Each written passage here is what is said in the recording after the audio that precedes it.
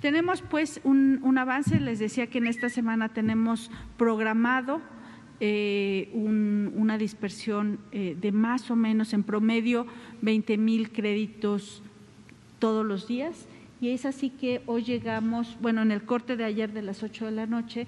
eh, llegamos nosotros a una dispersión de más de 10 mil millones de pesos. Esto quiere decir que estos 10 mil millones de pesos ya fueron entregados a beneficiarios no están en las bases de datos, no están en, están ya en, en la posesión de los beneficiarios, sea que retiraron todo el dinero o que dejaron una parte en esas cuentas que les fueron abiertas. Y eh, superamos también ya eh, los 400 mil eh, beneficiarios. Entonces vamos a seguir en, en los próximos días con un ritmo similar, como de 20 mil y esperamos seguir avanzando así la próxima semana de manera que dispersemos a todo ese millón de beneficiarios.